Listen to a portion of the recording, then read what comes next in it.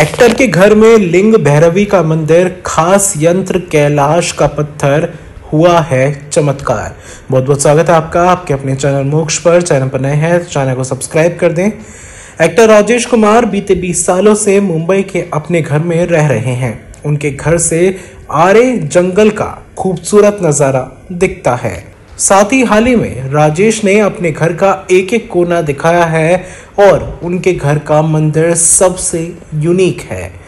उन्होंने देवीलिंग भैरवी का छोटा सा मंदिर बनवाया है। मंदिर में यंत्र रखा है। इस यंत्र को सदगुरु जग्गी वासुदेव ने प्रतिष्ठित किया है। साथ ही ये मंदिर पूरी तरह से सदगुरु के ईशा फाउंडेशन से इंस्पायर्ड है। राजेश ने बताया कि मंदिर में दिया जलाने पर जो काला पड़ता है, वो इससे फैसिनेट रहे हैं।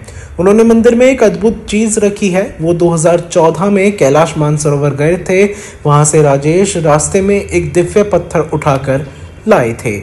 साथ ही इस पत्थर की चमत्कारिक कहानी बताते हुए एक्टर ने कहा कि उन्हें यकीन नहीं हुआ, इस पत्थर ने धीरे धीरे गणपति का आकार ले लिया। साथ ही, राजेश कुमार ने आइकॉनिक शो सारा भाई वर्सेस सारा भाई में काम किया है। इसमें उन्होंने रोशेश का रोल प्ले किया था।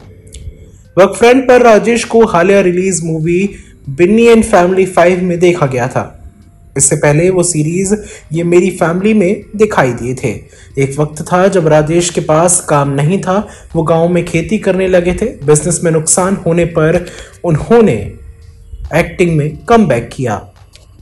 ऐसे अपडेट्स के लिए चैनल को सब्सक्राइब कर दें बेल आइकन को भी ज़रूर दबा दें ताकि ना ही तो आपसे कोई महत्वपूर्ण जानकारी छूट पाए और साथ ही साथ हर एक वीडियो का नोटिफिकेशन आप तक ज़रूर पहुँचे। कोई शिकायत या सजेशन देना हो तो नीचे कमेंट सेक्शन के ज़रिए ज़रूर दें।